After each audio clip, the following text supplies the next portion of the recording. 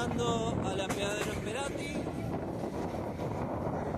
Acá vamos a poder ver el andén construido por trenes argentinos. Y ahora en minutos más vamos a tener el refugio hecho nuevo. Acá estamos.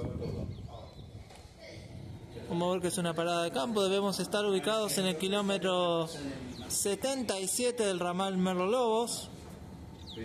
Eh, está apeadero originalmente tenía un destino, era un andén lechero, estaba del lado izquierdo, un refugio de madera, posteriormente remodelado por TVA, y con la renovación de vías, las eras Marcos Paz, Esperati ligó este apeadero nuevo.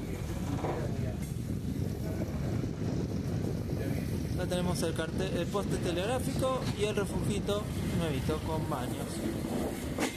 Y el otro cartel. Del otro lado debería estar el sector donde estaba el antiguo refugio y el desvío lechero. Otro desvío lechero acá en Ramal, originalmente era, era Samudio.